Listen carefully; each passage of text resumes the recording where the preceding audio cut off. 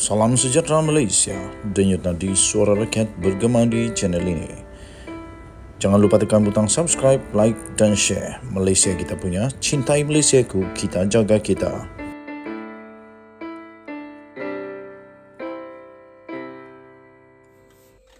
Salam sejahtera Malaysia, Denyut Nadi Suara Rakyat bergema di channel ini. Baru sebentar tadi, saya dapat beberapa mesej daripada kawan-kawan yang meminta saya untuk mengulas pandangan pendapat saya sendiri mengenai status Khairi Jamaluddin.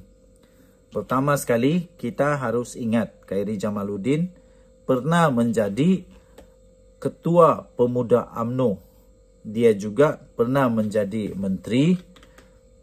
Dia juga berpengalaman dalam banyak bidang, banyak uh, jabatan kerajaan, kementerian sebagai menteri.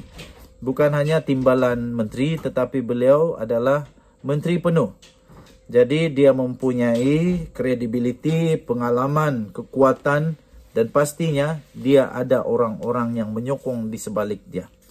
Jadi ada kawan tanya kepada saya, mana yang bagus? Khairi Jamaluddin ikut parti sedia ada ataupun dia bentuk parti sendiri?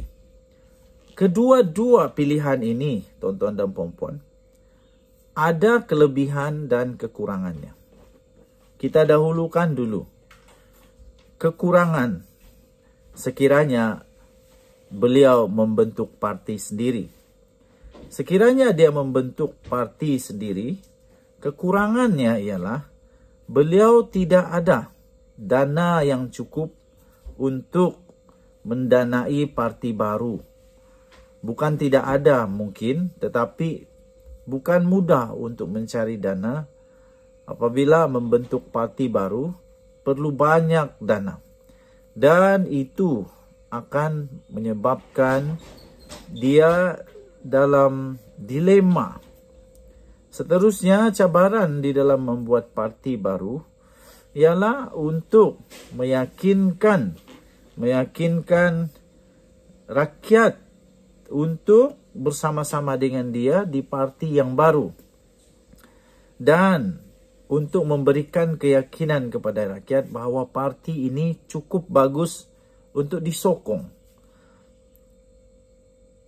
Cabaran seterusnya dengan membentuk parti baru ialah beliau perlu mencari banyak supporter. Bukan saja supporter biasa tetapi beliau perlu ada supporter nama-nama besar.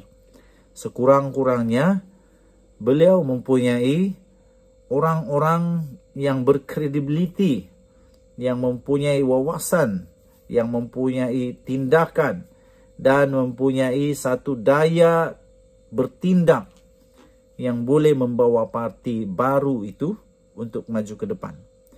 Kita melihat kepada presiden muda yaitu Syed Saddiq. Beliau mampu membuat muda kerana beliau di backup beliau mempunyai sokongan daripada profesional-profesional muda di Malaysia. Ah, orang-orang uh, muda di Malaysia yang profesional, mempunyai dana, tenaga, masa, uh, komitmen untuk membentuk muda. Akhirnya muda berjaya juga menang kerusi di adun. Itu boleh dicontohi tetapi cabarannya di sana. Cabaran itu kalau bentuk parti baru.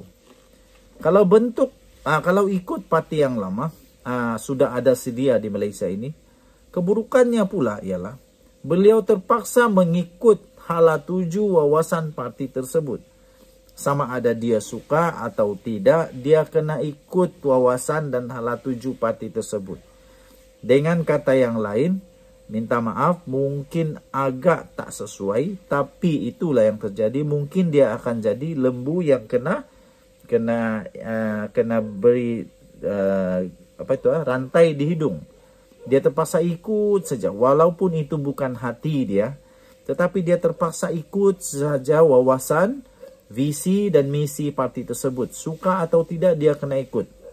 Kedua, dia mungkin terpaksa menahan malu, menahan aib sendiri kerana mungkin dia pernah. Dia pernah hentam, dia pernah cemuh, dia pernah uh, kritik, dia pernah macam-macam lagi, dia pernah bongkar ke apa parti itu. Akhirnya mungkin dia terpaksa jilat ludah sendiri untuk masuk parti tersebut. Ketiga, kalau dia ikut parti yang yang sudah ada sekarang ini pula, mungkin kredibiliti beliau akan turun. Keyakinan uh, penyokong-penyokong beliau mungkin akan berkurangan kerana dia masuk parti yang mungkin pernah dia dia cemuh dan dia pernah kritik, dia pernah dedahkan, dia pernah macam-macam lagi. Jadi, pendapat pribadi saya, kedua-duanya ada pro dan kontra. Tetapi bagi saya, saya lebih setuju, saya lebih suka, saya lebih uh, ingin melihat Khairi Jamaluddin buat fresh start, buat rebranding sendiri. Kerana Khairi Jamaluddin tidak sama dengan uh, tidak sama dengan uh, apa namanya? Tidak sama dengan uh, Zuraida Kamarudin. Dia tidak sama dengan Azmin Ali. Dia tidak sama dengan yang lain-lain yang memang uh, terbukti bahawa mereka mengkhianati Anwar Ibrahim dan dipecat. Heri Jamaluddin hanya tidak ikut saja apa yang di, direncanakan oleh AMNO dan dia dipecat. Kerana itu pada pendapat saya beliau lebih berkredibiliti jika dia bentuk parti baru. Memang banyak banyak dia punya cabaran. Tetapi antara kebaikan kalau dia ikut parti baru ataupun dia buat parti baru, bukan ikut parti baru tapi dia buat parti baru, pertama dia akan dapat membuat satu misi visi wawasan dia sendiri di dalam parti itu.